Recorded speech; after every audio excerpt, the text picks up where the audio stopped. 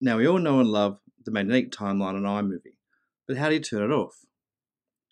Usually, you select your clips, bring it to the timeline, and it snaps like this. I'll just change the settings so you can see what I'm doing.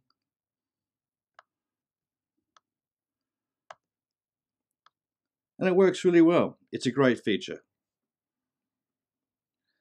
But sometimes, when you're editing to a music track, you'll want to keep specific shots in place at a specific part of the audio.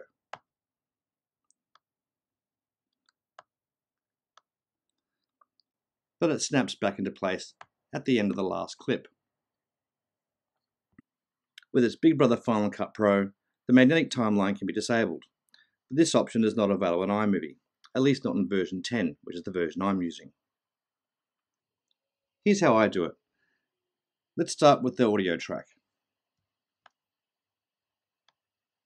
I'll be using a simple 4-4 drum beat at 120 beats per minute.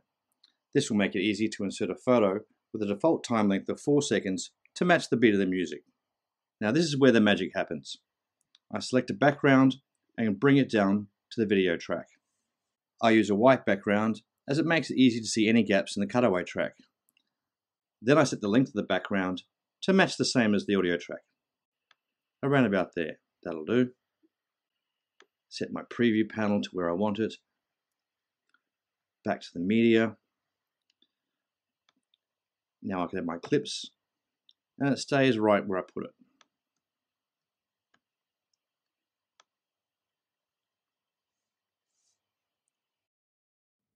At this point, we should check our video overlay settings. You want it set to cutaway, 100% opacity, and zero fade. Now back to the timeline. To get a clip at a specific point, I set the playhead to where I want it. In this example, I want it after the drum fill at exactly 16 seconds.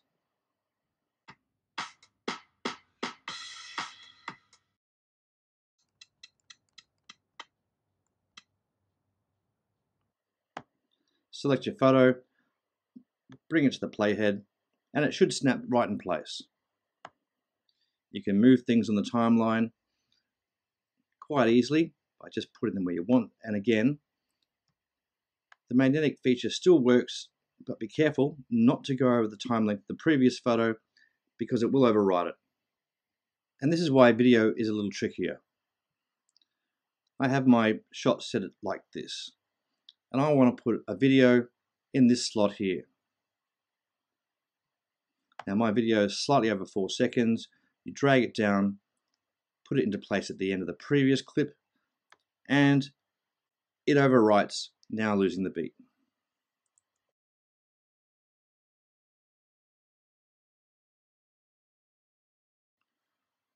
What I do is I put the clip in another place on the timeline, select it to where I want it in terms of editing it down to less, just less than four seconds.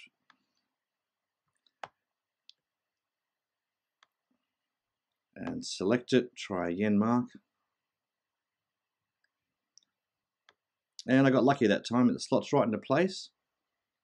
And just checking there, that's all good. Let's try that again, this time with a small selection. Grab the clip, put it into place, being careful not to overwrite the end of the previous clip. Let's zoom in.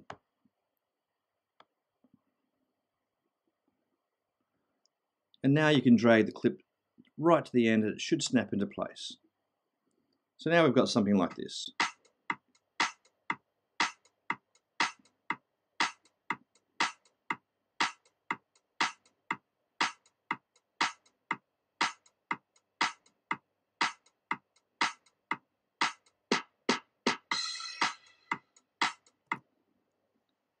And there you have it. For an example of how I've used this editing technique, check out my balcony blockbuster video link below. Thanks for watching, and remember, if you can't have the best, make the best of what you have.